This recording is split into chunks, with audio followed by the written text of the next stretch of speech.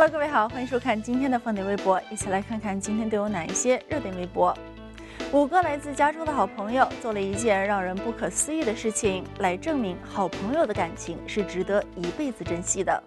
一九八二年时呢，五人第一次在 Copco 湖拍了一张合影，此后他们决定每五年都来这个地方再拍一张同样的合影。同时在拍摄时，他们尽可能的恢复当时拍照的样子。这个好朋友之间的约定，直到他们死去才会被终止。三十五年来，这五个人一直在坚守这份约定。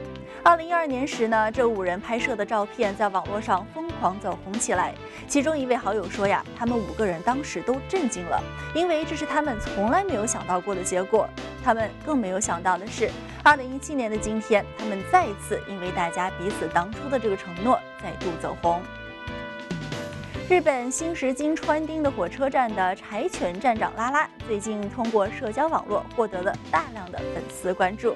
但这个动物站长在日本并不是首例，比如一只叫多摩的猫二零零七年被任命为一日川站站长。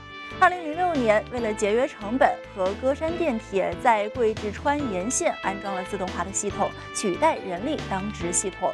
铁路部门官员选择当地企业主为名誉站场。并且呢，获得了零售商小山俊子的支持，他同意让猫咪在桂志川沿线当值。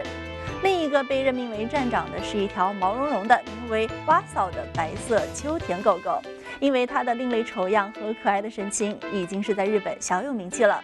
哇嫂是北部青森县站的理想选择，被认为非常的适合宣传当地的旅游业。好了，以上就是今天凤蝶微博的全部内容。如果电视机前的您想看到更多有趣的资讯，别忘了关注我们的微信公众平台，只要扫描屏幕左边的二维码就可以了。感谢您的收看，下期再会喽。